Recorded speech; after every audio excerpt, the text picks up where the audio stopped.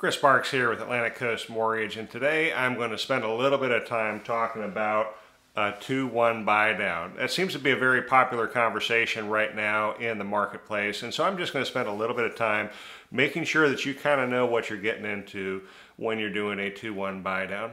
Let's just example, uh, start putting together a very common scenario of what's happening. We've got a home that uh, the seller wants to sell, and the buyer wants to uh, buy. And in this case, you can see my seller right here.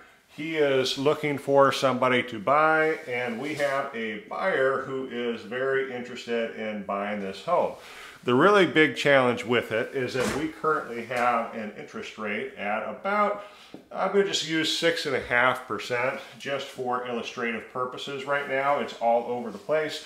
But that's a 6.5% that we're working with right now.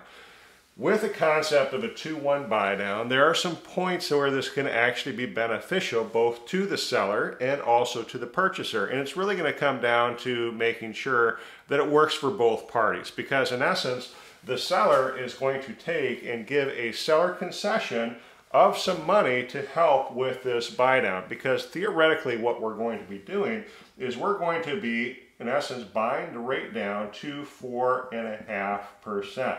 Now that's going to alter your payments for quite a bit of time is what it's going to do, but this 2-1 buy down is you're buying it down for two, two full percentage points, but it's going to readjust every year. So in essence, what's going to happen is the first year you're going to be at the 4.5%, and then on the second year, it's going to step up to the 5 and a half percent.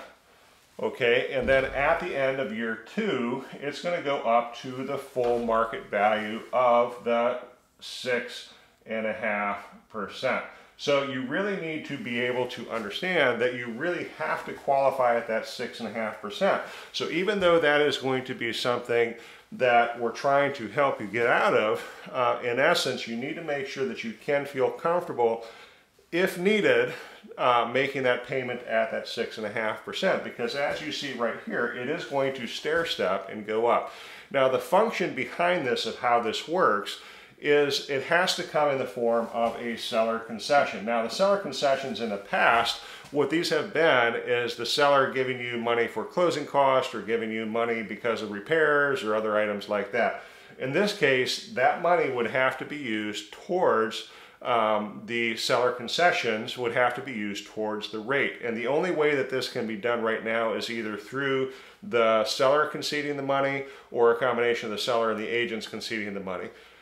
That's kind of how it works. Now, the way that this ends up working is, is that the seller would concede this money to help the buyer, and this money is going to, in essence, go over to the buyer, and but it's not going directly to the buyer, it's going to go into what's called an escrow account.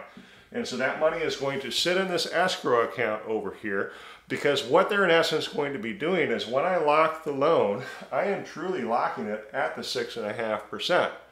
The detail with it is, is that we're going to be using that money to subsidize the payment. So even though the true payment is going to be based off of the six and a half percent, that money is going to be used every month to keep that money coming and make sure that the payments for the first 12 months are going to be at the lower 4.5% range. Now, as that money exhausts itself, then we're going to be moving it up to the 5.5% is kind of what you're seeing right here. And then eventually it will go up to the 6.5%. Now, the real goal with this is that hopefully we're going to be seeing the rates subside and we're going to see some rates come down in the very near future to actually making it more beneficial for you. And so this is a short-term fix to help you feel comfortable with buying the homes, get the seller out of the fix that he's in, get you the help to, to, to keep you in the market and actually help you buy a home. Just take advantage of the lower rate for that period of time and hopefully hopefully refi before we end at the target date 24 months later.